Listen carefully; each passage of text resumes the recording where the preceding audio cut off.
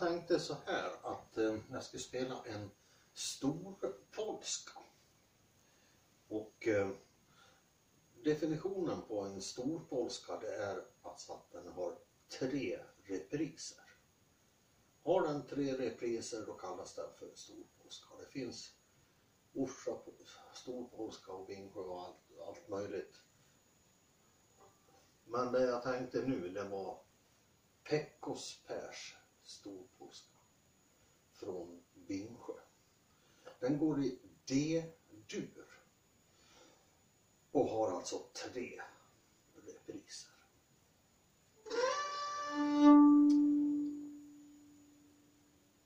Och den går ungefär så här.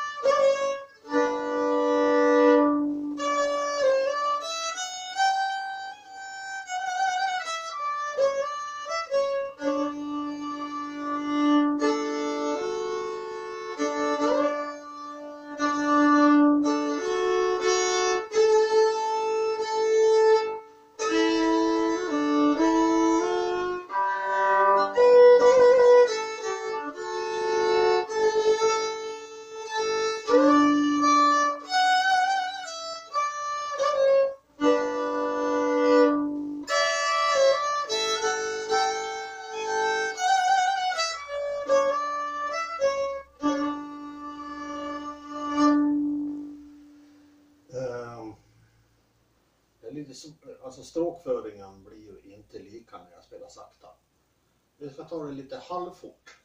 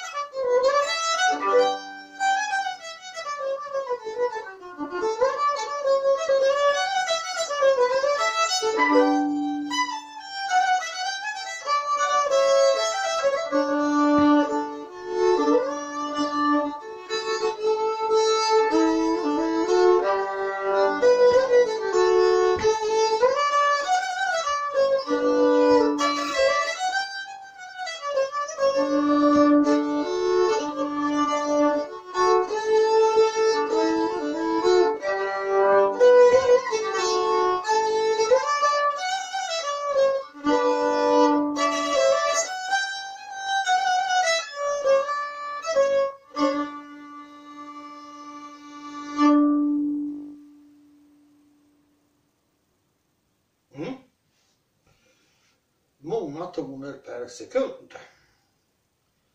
Det är lite typiskt Bingsjö-låtar. Sextondels polskor brukar det kallas. Hoppas att du lyckas bättre än jag.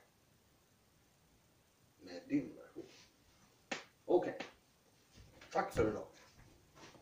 Slut för idag.